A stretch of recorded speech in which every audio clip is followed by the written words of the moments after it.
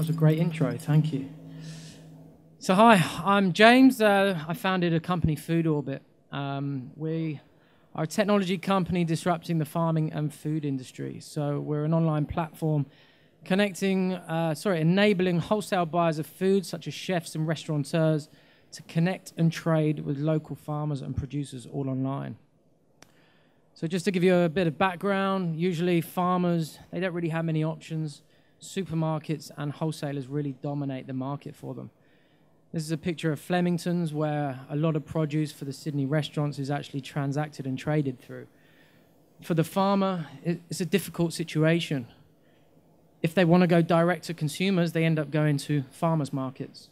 For these guys as well, it's a really inefficient and unreliable customer base and obviously very dependent on the weather if anyone's been to a farmer's market in the rain. Now, they're not great at marketing and they're not great at sales. So we designed this platform to really help them out with this. These are some images here of some fruit that was rotting on hectares of land out in rural New South Wales, where these farmers felt that it was actually cheaper to let the food rot than it was to pay someone to actually pick and sell down at the markets. These inefficiencies are seen throughout the whole of our food system. So we created Food Orbit. We're all about cutting out the middleman, shortening the supply chain, and making those connections happen. Technology is obviously the enabler we're using to take things back to how things used to be, but with the modern day expectations of what we all do using our, our iPads and our, our, our iPhones and our, our computers.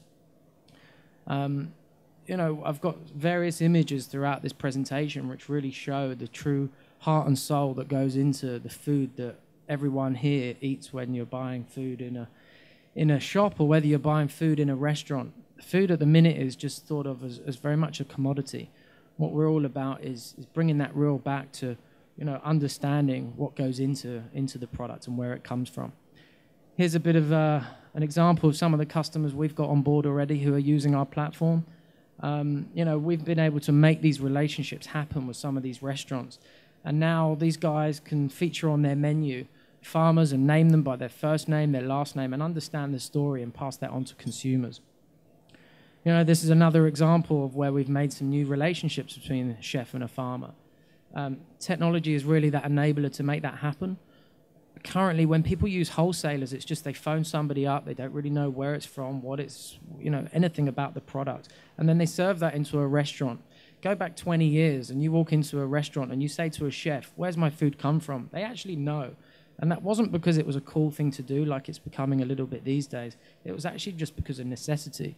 When people talk about sustainability, if you go to poorer areas, you'll find that sustainability is part of the ecosystem, not because it's a cool thing to do, but because that's just the way that things need to be done from an affordability point of view.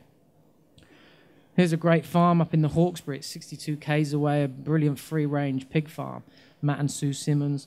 The stories that I've learned along my journey, coming from working in a corporate office and then actually uh, having the ability to quit that job and start something and follow my passion, uh, which, if you haven't guessed already, is in food. Um, you know, I came from a background where I called up Gordon Ramsay when I was living back in London, and I said, "Hey, I love food. I really want to learn a, a bit more about it." And uh, ended up working in his kitchens at weekends and evenings just to really learn about the importance and provenance of food. And since I've been in Australia, I've been blown away by by the products that every, everyone here has access to, although it is incredibly hard to, to find. These are some great farmers near Yass who, who have some amazing beef cattle but they sell it to agents that get sold to wholesalers and then get sold on again. So when me and you and everyone else is eating their amazing product in a restaurant, it's nothing more than a slab of meat on a plate. What we're trying to do is really bring that story back to life and put it on the plate so everyone can actually enjoy and understand where it's all come from. It always amazes me when you look at the food system across the whole world. There's a billion people starving and there's a billion people obese. There's something seriously wrong with that equation. This is an example of when I went out with Oz Harvest. I don't know if you know them, but they collect a lot of food from restaurants and other uh, other food suppliers. And I was eating all of this food. I don't know what you think, but it all looks really, really good. Um, that stuff was going in the bin unless uh, Oz Harvest was there to actually do anything about it. There's, there's quotes out there that say that we need to increase production by 50% in the next 10 to 20 years. But given that we're throwing away about 30 to 40% of the food that's being produced, that's another equation that doesn't really work with me. So we're all about really connecting these chefs. And this is an example of uh, Bowral, uh, down in Bowral, a Biota, a great restaurant down there, where they've actually started to do farmers markets in the restaurants as well on, uh, on weekends once a month.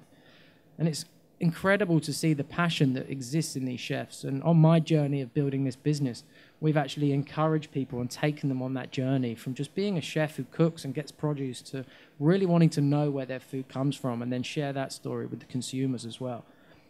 That's a a great picture there. People think that farmers aren't really very technically savvy. Uh, believe it or not, they've probably got more apps on their iPhone than most of uh, us lot here in, here today.